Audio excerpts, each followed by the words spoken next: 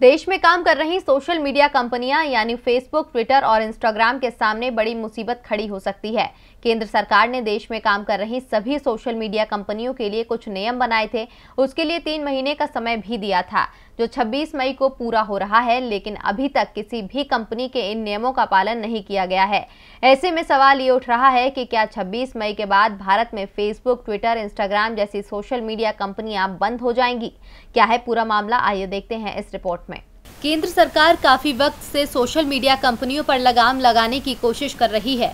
इसी कोशिश में भारत सरकार के इलेक्ट्रॉनिक्स और सूचना प्रौद्योगिकी मंत्रालय ने 25 फरवरी 2021 को सभी सोशल मीडिया कंपनियों को नए नियमों का पालन करने के लिए तीन महीने का समय दिया था।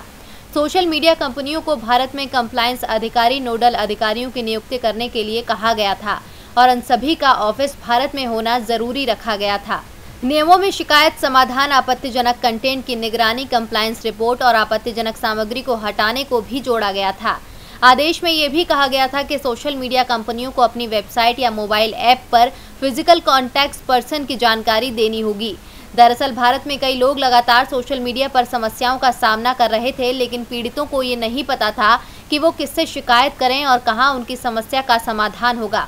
सरकार द्वारा जारी नियमों के बाद कुछ प्लेटफॉर्म्स ने इसके लिए छह महीने का समय मांगा है। कुछ ने कहा कि वो अमेरिका में अपने मुख्य कार्यालय से निर्देशों की प्रतीक्षा कर रहे हैं, लेकिन अब नियम लागू करने का आखिरी समय भी आ चुका है, जिसके बाद अगर सोशल मीडिया कंपनियों ने अगर केंद्र सरकार की शर्तों को नहीं माना तो सरकार कोई सख्त कदम उठा सकती है। डीबी लाइव की रिपोर्ट।